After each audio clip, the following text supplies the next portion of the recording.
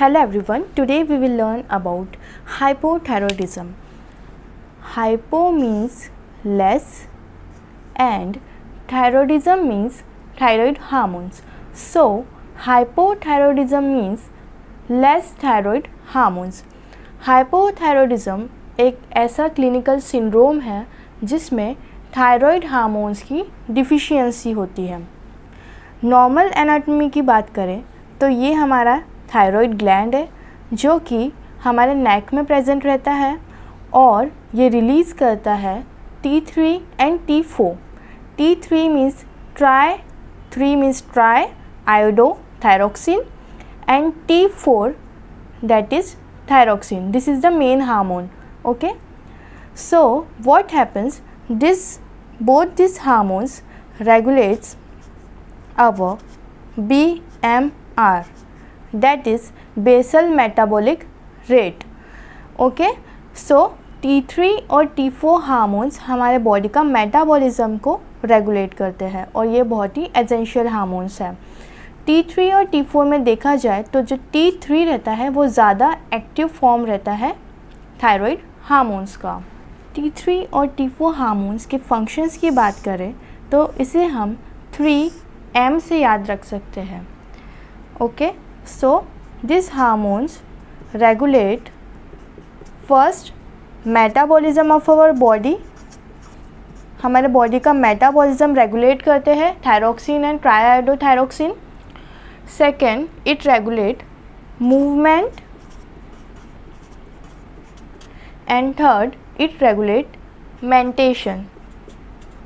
Mentation मतलब हमारी mental activity या हमारी थॉट प्रोसेस से हम कह सकते हैं। टी थ्री और टी फोर हार्मोन्स की वजह से अगर ये टी थ्री और टी फोर हार्मोन्स बढ़ते हैं तो हमारे बॉडी का मेटाबॉलिज्म इंक्रीज़ होता है, हमारे बॉडी का मूवमेंट इंक्रीज़ होता है मतलब रिफ्लेक्सेस इंक्रीज़ होते हैं, हमारी थिंकिंग एबिलिटी इंक्रीज़ होती है टी थ्री और टी फोर हार्मोन्स से। अगर ये हार्मोन्स की डिफिशियंसी रही तो ये सारी एक्टिविटीज़ स्लो डाउन हो जाएगी। So in hypothyroidism there is low metabolism low movement and low mentation hypothyroidism की बात करें तो हम सभी को पता है ये बहुत ही ज़्यादा कॉमनेस्ट डिसऑर्डर है आज के टाइम में। और हाइपोथायरॉयडिज्म में हमें क्या देखता है? There is hypo activity of thyroid gland.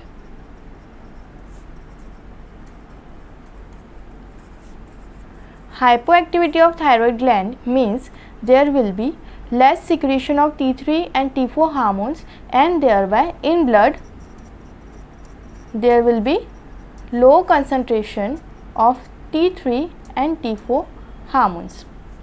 Now let's jump to the causes of hypothyroidism. So firstly, hypothalamus secretes TRH that is thyroid regulating hormone. We know hypothalamus secrete regulating and inhibiting hormone. So hypothalamus secrete thyroid regulating hormone T R H ये stimulate करता है anterior pituitary को to secrete T S H means thyroid stimulating hormones word से ही समझ में आ रहा है थायरॉयड स्टूमुलेटिंग मतलब थायरॉयड को स्टूमुलेट करना है थायरॉयड ग्लैंड को स्टूमुलेट करना है for the release of T three and T four hormones so causes में क्या होता है? अगर डिफेक्ट थायरॉयड ग्लैंड में रहा तो इसे हम कहेंगे primary cause okay primary cause का जो रीज़न है, वो एंटीरियर पिट्यूटरी है तो हम कहेंगे सेकेंडरी कॉज अगर जो डिफेक्ट है, वो हाइपोथैलेमस में प्रेजेंट है। हाइपोथैलेमस में ही कोई ना कोई डिफेक्ट है तो उसे हम कहेंगे टर्शरी कॉज अब इन सब की डिटेलिंग पढ़ेंगे। प्राइमरी कॉज की बात करें तो डिफेक्ट किसमें है? थायराइड ग्लैंड में। तो सबसे इंपॉर्टेंट कॉज ये है कि आयोडीन का इंटेक कम है, क्योंकि आयोडीन नेसेसरी है for formation of T three and T four hormone ठीक है? सो फ़र्स्ट प्राइमरी कॉज में हम लिखेंगे low intake low intake of iodine ठीक है? तो T three T four hormone का फॉर्मेशन ही नहीं होगा। या फिर थायराइड ग्लैंड की सर्जरी हुई हो, या फिर नेक रिसेक्शन होगा तो ये हम किसमें आ जाएगा? ये आइट्रोजेनिक कॉजेस में आ जाएगा। Thyroidectomy and neck resection surgery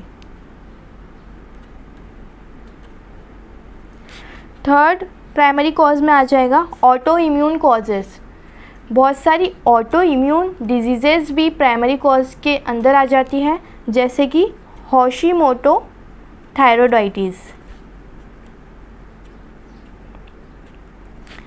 fourth is या तो फिर ए ट्रॉफी थायरोडाइटिस हुई हो. And last one is drugs के वजह से. Okay so this comes under primary causes thyroid gland में ही कुछ ना कुछ प्रॉब्लम है. Now let's move to secondary causes secondary causes मतलब डिफेक्ट कहाँ पे था? पिट्यूटरी में था. यहाँ पे सेकेंडरी कॉजेस हमें देखने को मिलेंगे. सो पिट्यूटरी में कॉज है मतलब पिट्यूटरी में ट्यूमर हुआ हो. सो पिट्यूटरी ट्यूमर्स और सेकेंड इज़ शीहान सिंड्रोम इन दोनों कॉजेज़ में टी एस एच हार्मोन का फ़ंक्शन इम्पेयर्ड हो जाता है, जिसके कारण वो स्टूमुलेट नहीं कर पाते हैं थायराइड ग्लैंड को और T three T four hormones release नहीं हो पाते so hypothyroidism now let's move to the tertiary cause so tertiary cause में हाइपोथैलेमस का फ़ंक्शन इम्पेयर्ड हो रहा था। तो हाइपोथैलेमस में अगर कोई ट्रॉमा लग जाए, या तो फिर कोई इन्फिल्ट्रेटिव डिसऑर्डर हो उसके वजह से भी हाइपोथायरॉयडिज्म हो सकता है। अब हम क्लिनिकल फीचर्स की बात करेंगे कि हाइपोथायरॉयडिज्म का पेशेंट कैसा दिखता है और उसके क्या क्लिनिकल फीचर्स होते हैं। सो हाइपोथायरॉयड का पेशेंट बहुत ही ज़्यादा ओबेस रहता है और उसके कंपैरिजन में अगर हम हाइपर थायराइड का पेशेंट देखें तो ये बहुत ज़्यादा थीन रहता है। हाइपोथायरॉयड का पेशेंट की एपेटाइट बहुत पुअर रहती है, फिर भी उसका वेट गेन होता है। तो स्टार्ट करते हैं हम फ़र्स्ट फीचर क्योंकि मेटाबॉलिज्म जो स्लो है, उसके कारण उसके जो हेयर्स रहेंगे, वो बहुत ज़्यादा थिन रहेंगे हेयर लॉस देखने को मिलेगा हेयर फॉल देखने को मिलेगा, उसके जो आईब्रोज रहेंगी, उसके भी जो हेयर्स है, वो भी लॉस मिलेंगे। So loss of eyebrow hair plus overall hair loss देखने को मिलेगा। ठीक है? सेकेंड अगर हम देखें तो उसका जो नेक रहेगा, वो बहुत ज़्यादा इलाज रहेगा, क्योंकि उसके अंदर जो थायराइड ग्लैंड है, वो भी बहुत ज़्यादा इलाज हो चुकी है। इसलिए इसमें हमें गोइटर की कंडीशन देखने को मिलेगी, जिसे हम इलाज थायराइड या फिर गोइटर कहेंगे। जो पेशेंट रहेगा हाइपोथायरॉयड का, उसमें स्लो हार्ट बीट देखने को मिलेगी। ब्रेडिकार्डिया देखने को मिलेगा, क्योंकि इसका मेटाबॉलिज्म बहुत ज़्यादा स्लो है। तो जो इसकी हार्ट बीट रहेगी, वो 60 से भी कम रहेगी। So less than 60 beats per minute normal हमें पता है 72 होती है, लेकिन इसमें हमें ब्रेडिकार्डिया देखने को मिलेगा बिकॉज़ ऑफ़ स्लो मेटाबॉलिज्म क्योंकि थायराइड हार्मोन्स ही नहीं है तो मेटाबॉलिज्म हो ही नहीं पाएगा।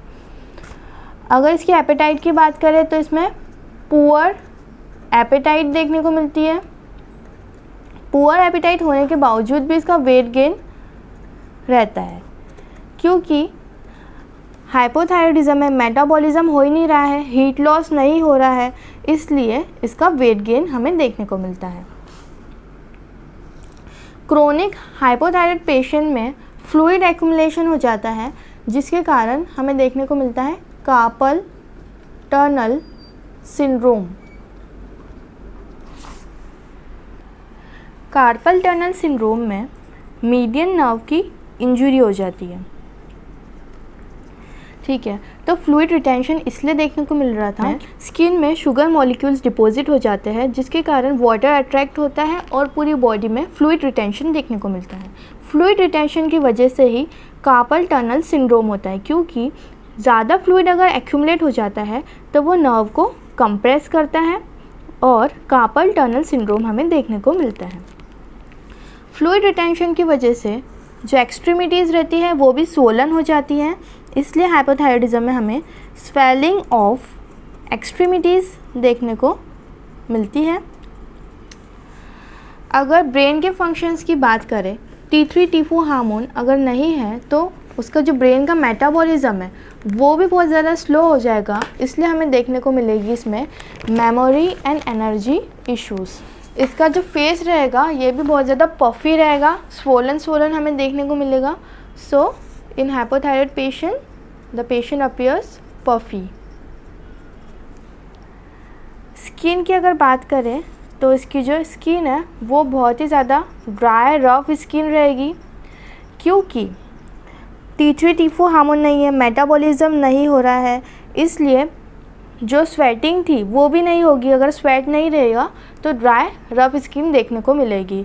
इसके बजाय अगर हम हाइपर थायरॉयड की पेशेंट की बात करें तो इस पेशेंट्स में हमें वार्म डैम स्किन और स्वेटी स्किन देखने को मिलती है। क्योंकि इनका बीएमआर बहुत ज़्यादा रहता है सेलुलर फ़ंक्शन इंक्रीज़ हो जाता है तो जो स्वेट रहता है और जो हीट रहती है वो बढ़ती है और हमारी बॉडी डैम्प और वार्म रहती है और स्वेटी रहती है। लेकिन इसमें हमें ड्राई रफ स्किन देखने को मिलती है। यहाँ पे पेशेंट को कॉन्स्टिपेशन मिलता है, क्योंकि बीएमआर कम है। तो जो इंटेस्टाइन की पेरिस्टलिटिक एक्टिविटीज़ है, वो भी नहीं होगी। अगर पेरिस्टलिसिस इंटेस्टाइन में नहीं होगा बोवेल्स में नहीं होगा तो हमें कॉन्स्टिपेशन देखने को मिलेगा। हैंड्स इसके कैसे रहेंगे कोल्ड रहेंगे क्योंकि इसमें कोल्ड इंटॉलरेंस देखने को मिलता है।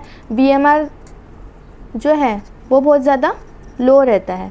बीएमआर के लो होने की वजह से हीट जनरेट बॉडी में नहीं होती है, जिसके कारण जो हमारा कोर बॉडी टेम्परेचर है वो भी कम हो जाता है। इसलिए जो हमारे हैंड्स है फीट है, ये सब हमें कोल्ड देखने को मिलेगी कोल्ड एक्सट्रीमिटीज़ देखने को मिलेगी। ओवरऑल बॉडी में वेट गेन देखने को मिलेगा पेशेंट बहुत ज़्यादा ओबेज रहेगा। और साइंस की बात करें तो इसकी जो रहेगी स्किन वो बहुत ज़्यादा ड्राई और स्केली स्किन देखने को मिलेगी। प्लस इसमें हेयर लॉस देखने को मिलेगा और ब्रिटल नील्स देखने को मिलेगी ऐसे पेशेंट्स में। डिफ़िकल्ट हियरिंग देखने को मिलेगी। मसल पेन आर्थ्रालजिया ये भी इसके दूसरे सिम्टम्स है क्रोनिक हाइपोथायरॉयडिज्म के। अगर एडवांस हाइपोथायरॉयडिज्म हो गया तो उस कंडीशन को हम कहते हैं मिक्सीडिमा मिक्सी डिमा ये एडवांस हाइपोथायरॉयडिज्म की कंडीशन होती है। इसमें हमारे बॉडी के जो रिफ्लेक्सेस है, जैसे कि डीप टेंडेंट रिफ्लेक्स वो भी लॉस हो जाते हैं, क्योंकि हमने देखा था कि T three T four hormone movement को भी रेगुलेट कर रहे थे, इसलिए इसमें डीप टेंडेंट रिफ्लेक्स भी एबसेंट मिलते हैं। और इसमें हमें नॉन पीटिंग इडिमा देखने को मिलता है loss of libido sexual activities भी बहुत कम हो जाती है कन्फ्यूज़न देखने को मिलता है माइंड में कन्फ्यूज़ रहता है पेशेंट डिप्रेस रहता है, क्योंकि उसकी थिंकिंग प्रोसेस बहुत ज़्यादा स्लो डाउन हो जाती है, क्योंकि T three T four hormones नहीं हैं ब्रीथिंग भी डिफ़िकल्ट होती है। Now let's move to the investigation of hypothyroidism there are three types overt hypothyroidism, central hypothyroidism, and subclinical hypothyroidism. First investigation जो हम कराएँगे वो हम टी एस एच का लेवल और टी फोर का लेवल देखेंगे। ओवर्ट हाइपोथायरॉयडिज्म में टी एस एच का लेवल इंक्रीज देखने को मिलता है और जो टी फोर रहता है, वो लो रहता है। मतलब जो थायरोक्सिन हार्मोन है, वो लो रहेगा। इससे हम ट्रीट कैसे करेंगे हम? थायरॉयड पिल्स दे देंगे पेशेंट को। सेंट्रल हाइपोथायरॉयडिज्म मतलब जो कॉज है, वो पिट्यूटरी या फिर हाइपोथैलेमस में है। तो इसमें हमें टीएसएच या तो थोड़ा कम मिलेगा या नॉर्मल मिलेगा या फिर स्लाइटली इंक्रीज भी मिल सकता है टीएसएच लेकिन टीफो हार्मोन थायरोक्सिन हमेशा इसमें लो ही देखने को मिलेगा। ठीक है, ये जो है, ये हमें ये शो करता है कि कॉज या तो पिट्यूटरी या फिर हाइपोथैलेमस है। सब क्लिनिकल हाइपोथायरॉयडिज्म ये बहुत अर्ली स्टेज रहती है हाइपोथायरॉयडिज्म की। इसमें हमें टीएसएच का लेवल एलिवेटेड देखने को मिलता है। टी फोर का लेवल इसमें नॉर्मल देखने को मिलता है। तो ये इन्वेस्टिगेशन की बात रही। ट्रीटमेंट की बात करें तो अगर आयोडीन की डिफिशियंसी के कारण हो रहा था तो आयोडीन की सप्लीमेंट्स देंगे और मेडिकेशंस में हम लीवोथायरोक्सिन दे सकते हैं। कॉम्प्लिकेशन इसका मोस्ट इंपॉर्टेंट कॉम्प्लिकेशन रहता है हाइपोथायराइड के पेशेंट का C H F chronic heart failure क्योंकि इसमें हमें ब्लड कोलेस्ट्रॉल भी इंक्रीज देखने को मिलता है। So this is all about hypothyroidism. Hope you understood the topic. Don't forget to like, subscribe to my channel. Thank you for watching.